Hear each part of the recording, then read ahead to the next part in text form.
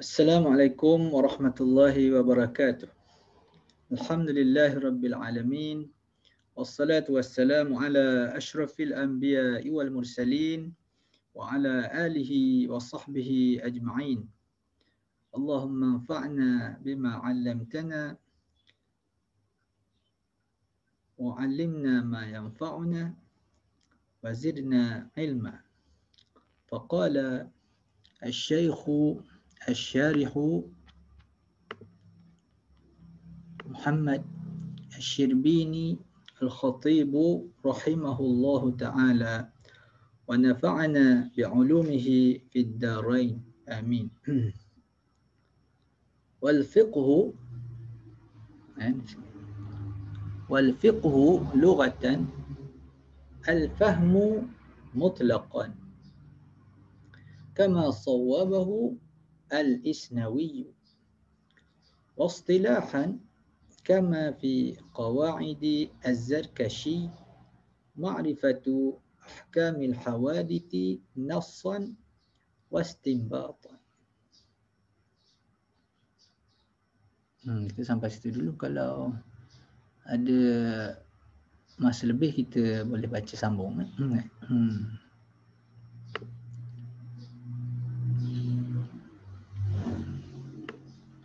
Jadi kata Syekh Abi Syuja' kita uh, rahimahullah taala uh, faqad sa'alani ba'd al-asdiqa hafizahumullah taala an a'mala mukhtasaran fil fiqh.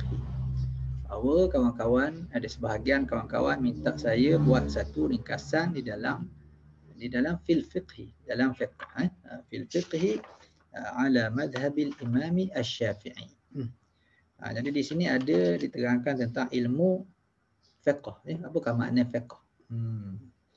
Jadi itu kata apa nama ni asy-syekh uh, asy-syirbini wal fiqh lughatan al-fahmu mutlaqan. Fiqh itu dari segi bahasanya ialah faham eh kefahaman secara mutlak. Hmm. jadi baca lughatan eh oh, lughatan. Ah, sama juga yang di depan nanti wastilahan lugatan wastilah. Uh, ini dia menjadi maksud kebanyakan ulama nahu eh, uh, menerangkan sebabnya ialah kerana linaz'il khafid eh, uh, linaz'il khafid mansubun linaz'il khafid. Hmm. Al khafid maknanya ialah uh, yang menyebabkan uh, kena hukum khafat eh, al khafdu. Jadi al-khafdu ni istilah yang masyhur di kalangan ulama-ulama nahu uh, daripada Kufah. Adapun ulama Basrah masyhur menggunakan istilah al-jar, al-jar. Uh, uh, huruful jarri iaitu hurufu al-khaf al-khafdi. Jadi al-khafdu uh, dengan makna al-jar lah yang biasa kita belajarnya ialah istilah Basrah. Eh? Jadi linazil khafid. Khafid tu maknanya yang mengejarkan, eh, mengejarkan. Uh, jadi yang mengejarkan tu huruf jar lah. Eh. Uh, itu khafid. Kalau kita gunakan jar, maka dia akan jadi uh, linazil jar. Uh, panjang lah. Eh. Uh, bukan linazil jar. Linazil jar. Ada huruf alif di situ. Uh, kita buatnya di atas wazan isim fa'il. Eh. Khafadha Ha, jadi atas wazan fa'ilun jadi khafidun yang tiga huruf ni. Ha, untuk buat isim fa'il eh. Hmm. Jadi kalau jarrun isim fa'ilnya ialah jarirun. Jarrun ha, kita pecahkan dia, pecahkan idgham dia dia akan jadi jararu eh. Tawazan fa'ilun akan jadi jarirun. Ha, kemudian ro itu uh, sama huruf eh. Ha, maka diidghamkan maka jadi satu saja huruf ro dan diletakkan tanda syaddah. Ha, jadi jarun. Ha, itu makna eh? jarun makna jarun yang mengejarkan, eh? yang mengejarkan. Hmm. Sama macam waladhdallin, dhallun eh asal pada dhalla, eh? makna sesat. Ha, jadi kalau nak jadi orang yang sesat, dhalilun, eh dhalilun. Kemudian huruf lam dia sama eh hmm, maka diidghamkan dia akan jadi Dhalun. Dhalun. Itu seorang yang sesat. Ramai. Dhalun. Dhalun. Jamak muzakkar salim. Hmm. Kenapa jadi dhalin wala dhalin itu kerana dia majrur eh majrur maka jadi wala dhalin. Ah, jadi itu lugatnya ni pada asalnya wal fiqhu fil lughah eh, al fiqhu fil lughah tapi kita buang fi maka linazil khafi kita kena buang itu maka dijadikan maksud eh maksud linazil khafi adalah beberapa wajah i'rab eh ha, tapi itulah wajah yang paling masyhur eh di kalangan ulama-ulama. Uh, jadi fiqh itu maknanya ialah al-fahmu mutlaqan. Al-fahmu uh, maknanya kefahaman secara mutlak eh uh, hal keadaannya faham itu mutlaqan. Al-fiqhu lughatan al-fahmu. Al-fahmu uh, jadi apa tu? Al-fahmu dia jadi khabar lah eh. Hmm. Al-fahmu mutlaqan. Uh, itu jadi uh, mutlaqan uh, boleh jadi hal lah hal kepada uh, apa nama ni hmm, hal kepada khabar eh uh, yang ni adalah yang pelik-pelik sikit eh biasanya uh, apa nama ni sahibul hal ialah uh, fa'il uh, dan juga maf'ulun bih uh, tapi yang ni adalah uh, ada juga dengan yang lebih luas eh dengan yang lebih luas baik hmm. wal fiqhu lughatan al fahmu eh? al fahmu mutlaqan faham Maknanya tempat yang kita boleh gunakan faham, bolehlah gunakan uh, fiqh juga. Ha, itu dari segi bahasa. Ha, contohnya, hmm, uh, faqih tu fahim tu orang cerita kita masalah kan. Ha, kita berkata fahim tu masalah taka. Saya faham masalah awak. Ha? Sama juga kita kata faqih tu masalah taka. Sama makna. Ha? Sama makna. Hmm ataupun orang bawa satu apa nama ni satu kes pada kita al-qadiyah eh ha, kes mana cerita ni panjang kita kita kata fahimtul qadiyah anta la tafhamul qadiyah datang orang lain ha, dia bagi ulasan yang tidak sesuai contoh maka kita kata pada dia anta la tafhamu al-qadiyah awak tak faham masalah ni ha Ha, samalah kita boleh kata anta la tafqahu ha, anta la tafqahu al-qadiyah engkau tak faham masalah ni. Jadi fahimah dengan ya, faqihah itu boleh digunakan sama makna. Iaitu maknanya faham. Itu dari segi bahasa. Eh? Al-fahmu mutlaqan. Ah, okay. Kalau kita kata al-fahmu orang panggil tidak mutlaqan macam mana pula?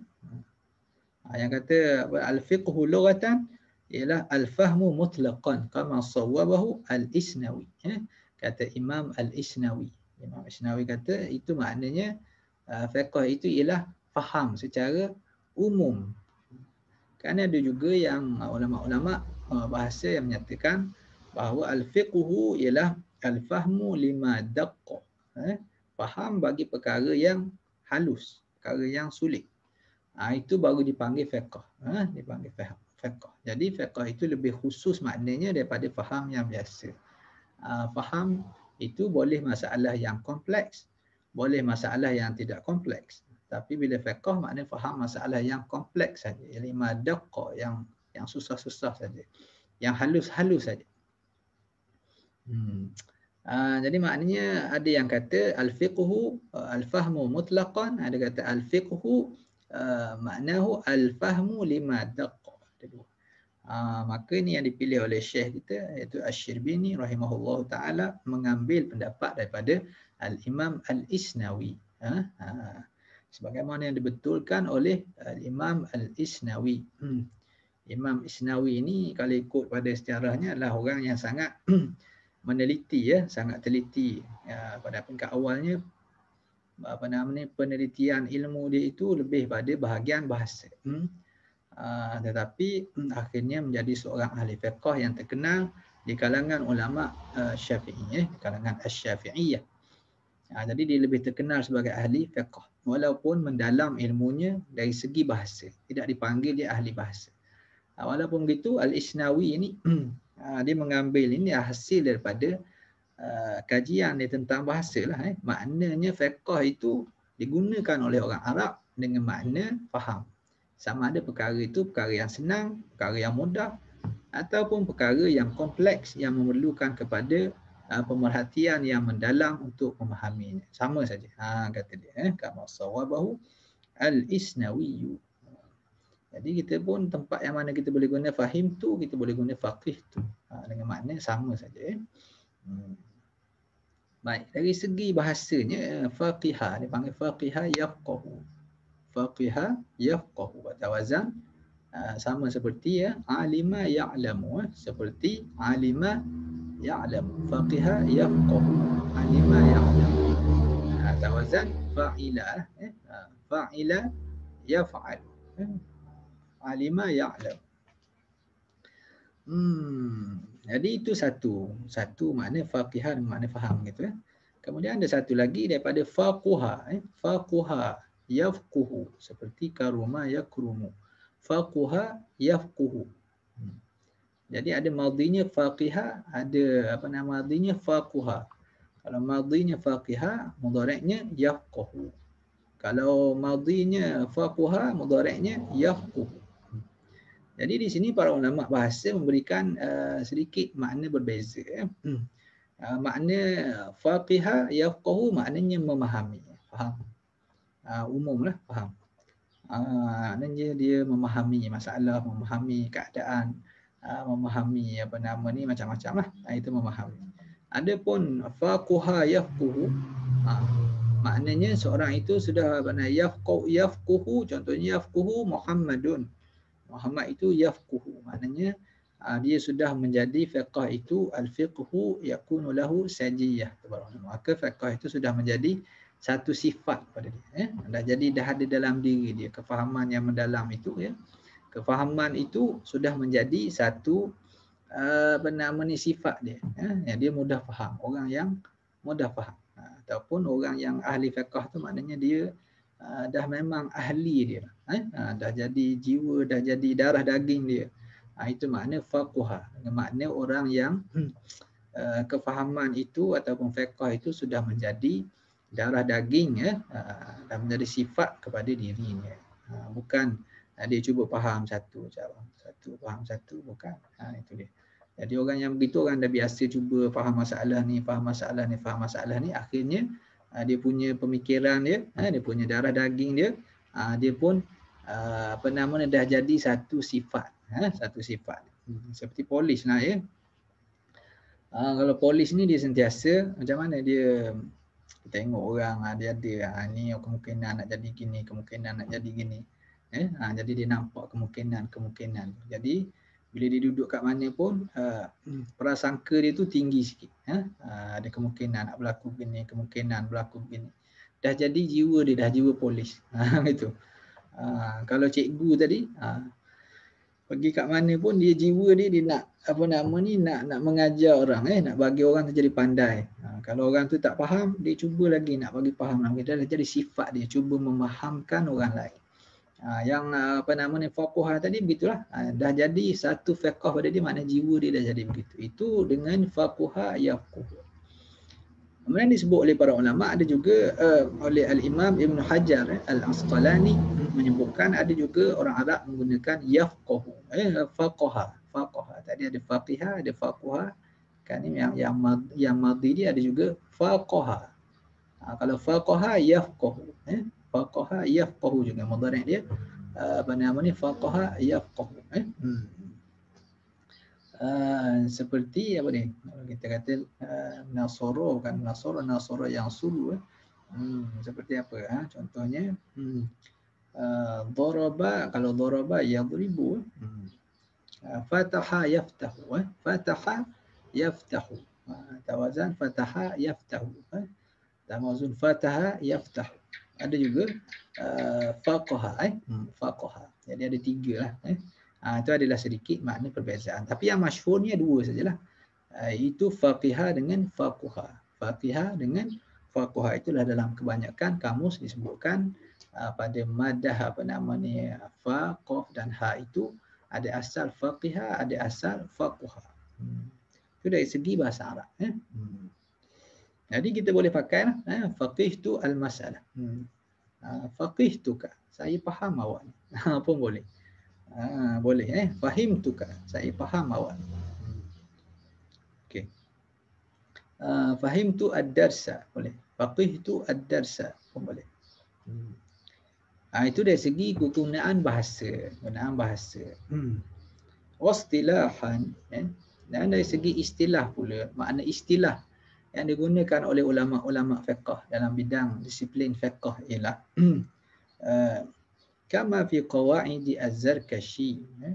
sebagaimana dalam kitab al-qawaid bagi Imam az-zarkashi rahimahullah taala makna fiqh itu ialah uh, ma'rifatu ahkamil hawadithi nassan wastinbatan uh, mengetahui hukum-hukum eh?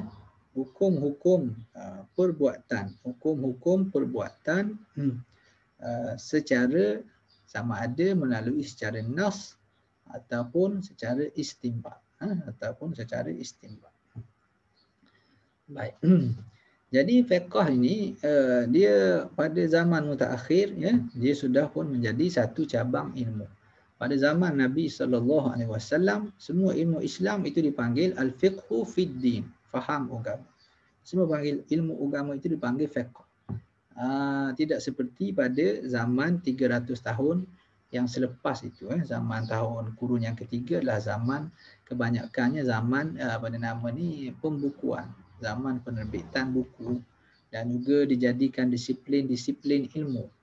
Uh, kerana orang Islam semakin bertambah ramai bukan orang Arab saja. Masalah pun semakin banyak. Yang baru masuk Islam pun ramai. Hmm. Jadi untuk memudahkan, maka ulama-ulama pun mengklasifikasikan ilmu-ilmu yang tertentu. Ha? Antaranya ilmu yang berkait ha? dengan apa akidah, maka itu ilmu akidah dipanggil tauhid. Ha? Ilmu yang berkait tentang mendidik jiwa, ha? tazkiyatun nafs ataupun al-wijdaniyat, yang itu, itu dipanggil ilmu tasawuf ha? ataupun ilmu tazkiyatun nafs. Kemudian yang berkait dengan uh, sembahyang, ya, macam mana nak puasa, macam mana bercerai, macam mana berkahwin, uh, macam mana apa nama ni ambil wuduk dan seumpama itu dipanggil fiqh yang berkait dengan perbuatan, eh, berkait dengan perbuatan itu dipanggil fiqh. Hmm. Jadi ilmu ini diberi uh, apa nama ni pada masa pada masa uh, kemudian, eh, kemudian itu dalam kurun yang ketiga, eh, maka dia dah jadi satu makna yang khusus. Itu makna istilah di sini. Ya. Uh, istilah iaitu, jadi pada zaman Nabi, al-fiqhu fid din. Ya. Uh, jadi ada juga di kalangan apa nama ni ahli-ahli ilmu di kalangan biasanya di kalangan apa anak-anak murid lah tu guru taklah macam itu ya ha, anak-anak murid ni dia berbanding ya zaman dahulu ha, ini tiang untuk belajar fiqh yang ni untuk belajar bahasa yang ni untuk belajar hadis yang ni untuk belajar tafsir manakah ilmu yang paling afdal. Maka orang yang belajar fiqh dia kata fiqh paling afdal. Orang yang belajar tasawuf dia kata tasawuf paling afdal. Belajar tafsir kata tafsir lah paling afdal. Belajar hadis dia kata hadis lah paling afdal. Sebab itu dia pergi ke bahagian tersebut. Hmm. Masing-masing membawa hujah lah. Yang sebenarnya semua sekali ilmu berkait. Semua sekali berkait. Ha, semua sekali berkait seperti yang kita terangkan dari segi ilmu teras uh, iaitu ada tiga dan asal sumber ilmu itu ialah ada dua Al-Quran dan Sunnah. Eh. Ilmu teras itu ada tiga. Eh. Kemudian ada ilmu alat yang lain itu. Jadi semua itu saling lengkap melengkapi. Ya. Kalau kita hanya main satu bahagian saja, hmm. uh, maknanya kurang lengkap. Eh. Uh, kurang lengkap. Uh. Tapi ialah nak belajar semua sekaligus itu uh, agak sukahlah itulah kerana itu masa perlukan pada masa boleh belajar sekaligus tapi maknanya yang ni pembelajar yang ni pembelajar dia nanti bila dah semua ilmu itu bergabung semua sekali ha, dia baru-baru dia akan nampak kalau belajar satu saja ha, dia akan jadi adalah apa nama ni kekurangan ya ada kekurangan jadi semakin banyak kita belajar itu maka semakin ya, tinggi semakin cekap kefahaman kita itu. Mudah-mudahan Allah Taala tambahkan pada kita ilmu dan tambahkan kefahaman. Jadi yang belajar fiqh berdalil dengan hadis Nabi sallallahu alaihi wasallam mayuridillahu bihi khairan yafaqihu fid din. Barang siapa yang Allah Taala kehendaki dengannya dengan kebaikan yang banyak, maka Allah Taala jadikan dia pandai fiqh. Ha, dia kata yufaqih dengan makna pandai fiqh. Fiqh dengan makna mutaakhirin. Ah, yang sebenarnya dalam hadis itu bukan lagi ada fiqh dengan makna yang seperti ini bukan. Ha, itu maknanya al-fiqhu fid din ya. Ha, semua urusan agama semua eh semua urusan agama semua sekali. Ha, bukan mesti apa kita kata uh, bukan mesti apa tadi? Hmm. Uh, bukan semestinya apa nama ilmu fiqh saja. Ha, itu dia. Jadi ini bila kita bahas ilmu fiqh dah jadi satu ilmu suluddin dah jadi satu ilmu ilmu tasawuf dah jadi satu ilmu yang khusus eh satu ilmu yang khusus ilmu tafsir dah jadi satu ilmu yang khusus. Hmm. Baik. Hmm. Ha, jadi kita tengok macam mana tarikh dia. Ha, kata Imam Az-Zarkashi iaitu ma'rifatu ahkamil hawadith. Ha, mengetahui atau pengetahuan eh, mengenai hukum-hukum. Ha, berkenaan hukum-hukum. Hukum-hukum apa ni? Hmm. Hukum-hukum perbuatan. Eh. Ha, hukum-hukum perbuatan. Al-hawadith apa makna hawadith? Ha, jadi hawadith ini kalau ikut pada apa nama ni dalam dalam apa syarah al-Bujairimi hmm. uh, la'allahu bermakna la'allahu al-af'al eh, mudah-mudahan mungkinlah dia itu maksudnya al-hawadith yang dikendaki oleh Az-Zarkashi maknanya ialah al-af'al itu perbuatan makna al-hawadith dengan makna al-af'al uh, kalau kata makna al-af'al maka kita terjemahkan dia ialah mengetahui hukum-hukum perbuatan hukum-hukum perbuatan. Ha, tapi kita kena takdir mudah jugalah. Eh? Ha, perbuatan siapa? Ha, ha, ma'rifatu ahkami hmm. af'ali al-mukallafin. Eh? Al-mukallafin. Orang yang mukallaf. Orang yang dikenakan taklif oleh Allah Subhanahu Wa Taala itu jin, eh, manusia dan jin lah al-mukallafin eh, mukallaf orang mukallaf mengetahui hukum-hukum Ah, berkaitan perbuatan eh berkaitan perbuatan orang-orang yang mukallaf hukum berkait perbuatan uh, apa dia hukum perbuatan bagi salam eh sembahyang uh, puasa zakat hmm. habis itu hukum arak macam mana uh, hukum arak uh, dia bukan fiqh bukan Ha, tapi hukum minum arak, ha, itu ni ada perbuatan. Eh. Ha, perbuatan baru ada fiqah. Fiqah ni berkait dengan kebanyakannya ialah perbuatan. Ada juga dari segi teori, ada juga sikit. Eh. Tapi kebanyakan berkait perbuatan. Perbuatan sama ada kita bercakap ataupun kita buat ni. Ataupun ha, niat. Itu dipanggil meniat. Itu pun dipanggil perbuatan. Perbuatan hati. Eh. Ha, perbuatan. Jadi yang berkait dengan dengan perbuatan tu dipanggil fiqah. Hmm arak tu yang kaji arak sendiri tu arak tu ada alkohol macam mana apa semua sekali yang kesihatan dari segi kesihatan mana itu bukan fiqh tu fiqhnya macam mana fiqhnya ialah menggunakan arak dalam perubatan. Sebagai contoh. Ha? ha boleh ke tak? Ha, itu baru fiqh. Hmm ha, fiqh berkait dengan perbuatan ha tanya apa hukum babi? Tak ada apa-apa hukum lah babi. Ya makhluk Allah Taala. Tapi lah kita tak sebut babi itu makhluk Allah Taala. Kerana dia apa nama ni ialah binatang yang uh, tidak elok lah kita kata eh. hmm. Tapi ialah setiap makhluk Allah Ta'ala Allah Ta'ala tidak buat sia-sia lah hmm. oleh kerana itu orang lama menyatakan hmm. uh, eloknya beradab kita kata Allah Ta'ala buat semua sekali Allah Ta'ala yang buat babi uh, kita kata Allah Ta'ala buat semuanya kita tak letak dekat lah, dengan nama Allah Ta'ala itu dari segi adab uh, bercakap walaupun hakikatnya memanglah Allah Ta'ala yang buat semua sekali. Hmm. Okey, kita pun tanya apa hukum babi? Maksud apa hukum babi? Tak ada hukum lah babi tu. Ha, hukum apa? Hukum makan babi. Baru dia panggil fiqh. Ha, hukum apa? Hukum menggunakan kulit babi. Ha, hukum apa nama ni yang mengambil bahan dalam babi letak dalam vaksin. Ha, contohnya ni musim covid. Semua itu baru fiqh. Ha, fiqh berkait tentang perbuatan eh okay. perbuatan apa hukum kereta jadi tak itu bukan fiqh fiqhnya ialah apa hukum menggunakan kereta apakah hukum menggunakan kereta curi apakah hukum menggunakan kereta ayah apakah hukum menggunakan kereta kawan tanpa kebenarannya ha gitu ha, itu baru fiqh berkait tentang uh, perbuatan eh. Uh, jadi kalau kita terjemahkan hawadith dengan makna al-af'al yakni af'al al-mukallafin. Hmm. Nassan wastinbatan. Sama ada secara nas. Secara nas maknanya direct daripada al-Quran dan hadis. Wastinbatan. Ataupun berdasarkan kepada qiyas eh. Ha, iaitu dalil apa nama ni tabi'iyah ha, lain dalil apa nama ni usul fiqh yang lain lah. Lain daripada al-Quran dan hadis secara langsung eh. Secara langsung. Ha, maka itu uh, al-qiyas lah maknanya istimbat mengeluarkan hukum ha, tidaklah direct nampak itu tetapi uh, berdasar pada isyaratun nas ha, sebagai contohnya ataupun berdasar kepada qiyas ha, qiyas yang jali yang seumpamanya berdasar kepada maslahah ha, berdasar pada lain maka hukum itu diambil berdasar pada sajud zara'i dan lain-lain maka mengetahui hukum-hukum yang sedemikian itu hukum-hukum syarak yang berkaitan dengan perbuatan mukallaf. Sama ada daripada nas dengan dalil nas ataupun dengan dalil qiyas yang lain maka itulah dipanggil fiqh hmm. Baik jadi ada juga sebahagian ulama menyatakan bahawa al-hawadith ini maknanya ialah al-mukallaf. Ha, hadis maknanya hadis mana apa?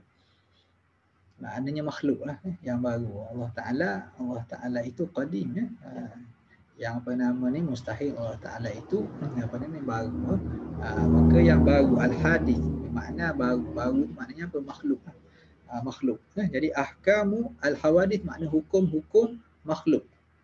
Hukum-hukum makhluk. Sama ada secara nas ataupun istimba hukum-hukum makhluk. Kalau kita kata hawadis dengan makna makhluk hmm, maka hukum makhluk. Makhluk itu bukan perbuatan. Maka kena takdir mudah jugalah iaitu af'al eh ah, apa nama makrifatu ahkami af'ali al-hawadith makrifatu ahkami ahwali apa nama af'ali al-hawadith uh, perbuatan makhluk. Uh, makhluk itu maknanya mukallaf lah. Eh? Perbuatan makhluk. Hmm. Boleh juga hawadis dengan makna hadithah, makna peristiwa. Eh? Peristiwa maknanya uh, peristiwa yang berlaku lah. Peristiwa apa apa yang berlaku. Nak berlaku apa? Maknanya nak semayang ke, nak, nak batal air semayang ke.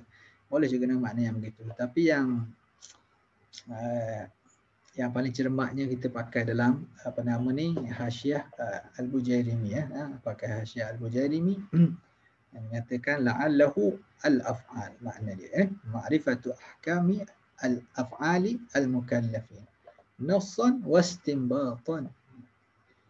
hmm. inilah makna fiqh yang mutaakhir makna fiqh dari segi uh, istilah mutaakhirin dan dari segi apa nama ni kefahaman kita di peringkat uh, yang akhir ini itulah makna fiqh. Hmm? Makna fiqh iaitu gabungan semua hukum syarak ya, yang berkait tentang perbuatan hamba, berkaitan perbuatan uh, apa nama ni uh, mukallaf sama ada dalilnya daripada al-Quran dan hadis ataupun dalil-dalil yang uh, mengikutinya itu berdasar pada kias. Hmm. Dari segi perbahasan asal fiqh itu ya. Hmm. Uh, al-fiqhu hmm. Uh, yang masyhurnya fiqh ini ialah yang diistilahkan oleh al-Imam Asy-Syafi'i radhiyallahu anhu. Ya. Uh, itu masyhur digunakan bahawa itulah uh, al-ilmu bil ahkami asy-syar'iyyati al-amaliyah al-muktasabu min adillatiha at-tafsiliyah. Iaitu ilmu berkait tentang hukum-hukum syarak. Ya, bukan hukum bukan hukum adat, bukan hukum sains, eh? bukan hukum akal.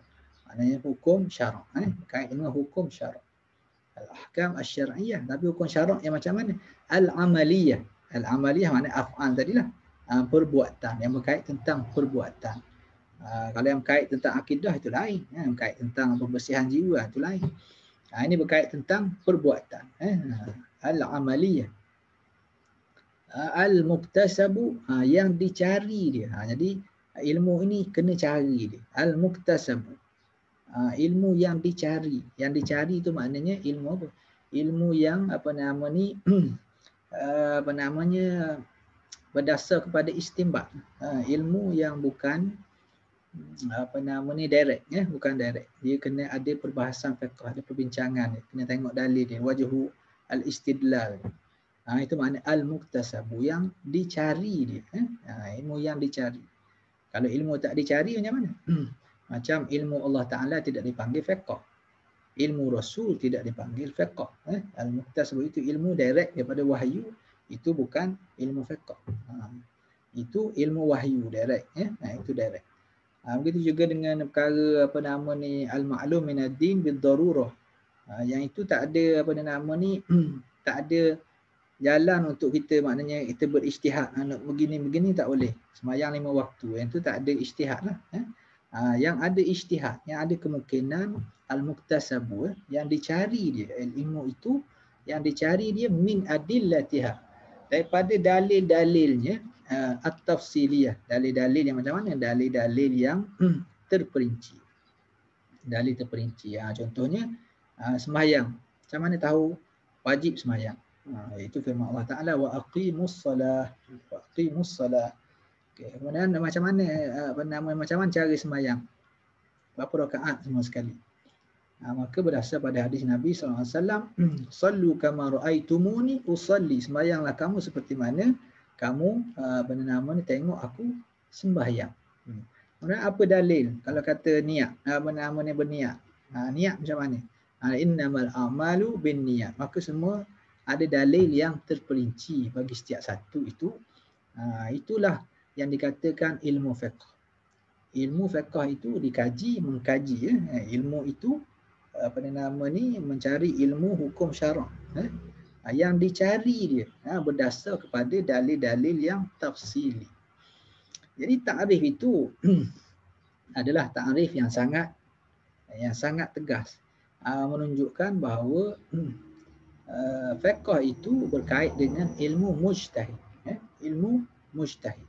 Mustahid ni orang macam mana? Orang yang cukup syarat-syarat dia yang boleh berijtihad, yang boleh mengistimbatkan hukum uh, daripada sumbernya yang asal. Eh. Uh, itu dipanggil mujtahid. Hmm. Jadi golongan mujtahid ni dia tak boleh uh, taklid. Ha, ini ada perbahasan uh, ijtihad dan juga taklid. Eh. Bila dia ada mujtahid, maka mujtahid dia tidak boleh bertaklid. Uh, dia wajib mencari dalil. Maka dalil itu, uh, itu dalil at-tafsiliyah maka ilmu yang dia jumpa, kajian itu sampai pada satu hukum, uh, iaitu hukum niat itu adalah rukun sembahyang. Eh? Uh, ataupun niat itu hanya merupakan syarat pada sembahyang. Rukun atau syarat. Kalau rukun, uh, dia mesti bersekali dengan perbuatan sembahyang. Kalau syarat, dia boleh bersekali dan boleh didahului sebelum daripada itu. Jadi dia pun kajian. Bila kaji dia sampai pada ilmu kajian dia itu, itulah natijah itu dipanggil fiqh. Itu dipanggil hukum fiqh. Jadi dia khusus untuk mujtahid. Hmm.